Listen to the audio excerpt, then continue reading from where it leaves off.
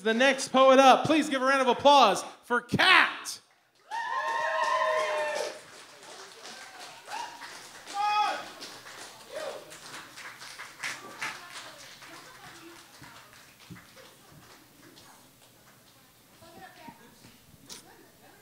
Thank you.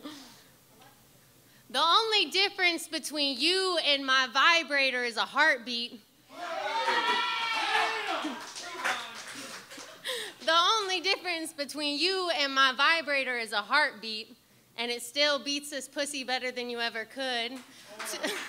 Too bad yours runs on the batteries of toxic masculinity. I must stroke your fragile ego for pride to fill your veins and let you pound out your insecurities before you bust your negativity all over my spirit to leave me to clean the mess, to wash your remains from my sheets.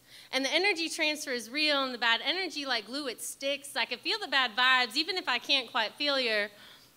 But we'll pretend those magnums fit. We'll pretend I choke a little bit. Fuck, I ain't even mad you gave it to another bitch, because she could have all of you and all little of it, because my, my vibrator raw talks me every night. Gets me to. gets me to orgasm every time. This is not fair. Letitia's on the ground. oh, God. Oh, God. But my vibrator raw dogs me every night, gets me to orgasm every time, and I roll over and sleep just fine. Not a doubt in my mind, I'm the only pussy it's pleasuring.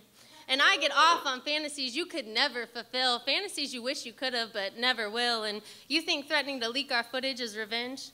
It'll ruin my reputation, tear me down, you see? Say, if you leak it, you're only doing me a favor by making me the next Kim K. So go ahead, baby. Send it to the press. Post it on the gram. But don't be mad when the gang see me throwing it back and sliding my DMs, because they will if they haven't already before. So don't be making threats if you're not ready for all that, because they know what I'm working with, and they know it's kind of fat. So maybe check yourself and leave your pride at the door, because baby, you are nothing more than a heart beating vibrator. My name is Kat King. Thank you.